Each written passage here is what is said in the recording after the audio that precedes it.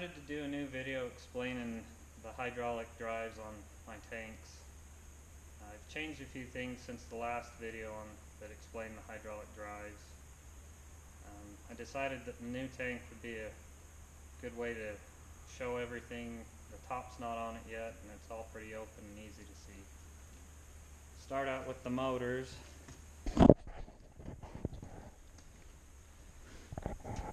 Motors are in the front of the tank.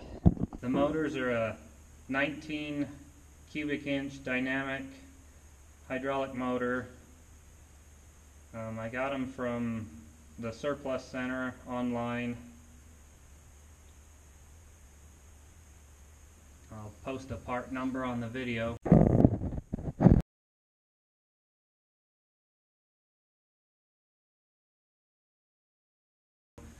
They're connected to the sprockets on the outside through a Lovejoy. The Lovejoy is a L150 series and the pump's got a one inch shaft on it and then the act the axle shaft for the sprocket is an inch and a half shaft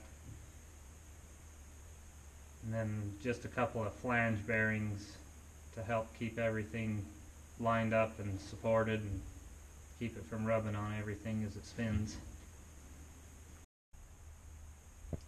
Then if we follow the hydraulic lines back to the pump, just come around the left side of the vehicle.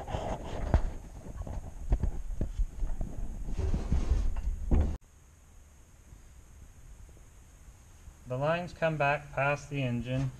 The engine's a 22 horsepower Predator engine from Harbor Freight. The hydraulic lines come around the back side to the tandem pump. They're made by Hydro-Gear. As you can see, they're tandem. This is the part number for the Hydro-Gear pumps.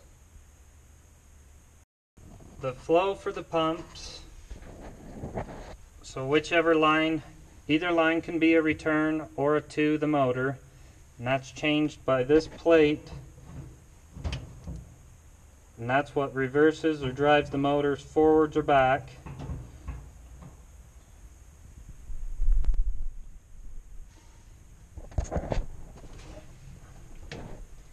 That plate's controlled by a push-pull cable. Runs down around the engine and comes up to a simple control valve these control valves are just two direction, back and forward. Uh, they're made by Buyers Product. Uh, part number is a BP 206301. And they're described as a remote valve control. There's one control per track so each pump has a controller. Here's the controller for the left side.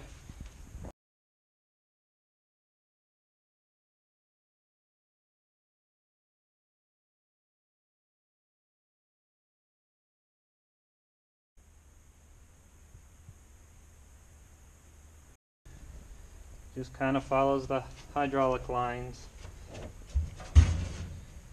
Comes over to this bracket. It's just it's pinched right there with a U-bolt to keep the cable from flexing. And it goes to our front pump and connects to the plate that changes the flow path of the hydraulic fluid. So that's forward, and this would be reverse.